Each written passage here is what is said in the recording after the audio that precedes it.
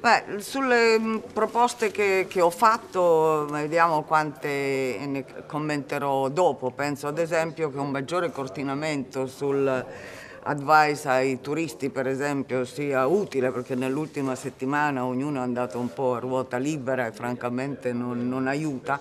Penso anche che l'annuncio del governo di aprire un'investigazione indipendente su tutte le violenze debba essere fatta in cooperazione con organismi internazionali e non dire, solamente loro, eh, per intenderci.